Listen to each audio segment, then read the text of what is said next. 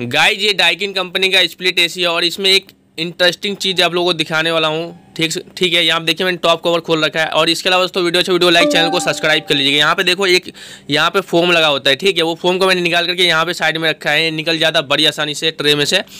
और यहाँ पे देखो दोस्तों, यहाँ से किस तरह से होल हो रखा है। आप लोग क्या लगता है ये होल किस तरह से हो गया? क्योंकि पीसीबी के साइड तो यार रिपेयरिंग किया नहीं होगा कि वेल्डिंग रॉड या कुछ आकर के यहाँ पे लग जाएगा और ये प्लास्टिक मतलब जल जाएगा वहाँ से। देखिए यहाँ पे पूरा गोल हो रखा है। कैसे हो गया यार? मेरे को खुद ही समझ में नहीं आ रहा है। लेकिन ये पूरा पता है, ये जल गया है। मतलब किसी टेक्नीशियन ने आया ना तो इसको जला दिया और कस्टमर बोल रहा था ये डाइकिन कंपनी से ये टेक्नीशियन आया हुआ था।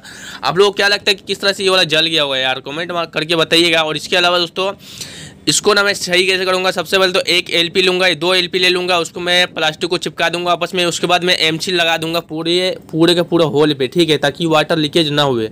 तो उम्मीद करता हूँ दोस्तों वीडियो इंटरेस्टिंग लगा होगा। मिलते एक और वीडियो में। थैंक यू सो मच आप सभी का।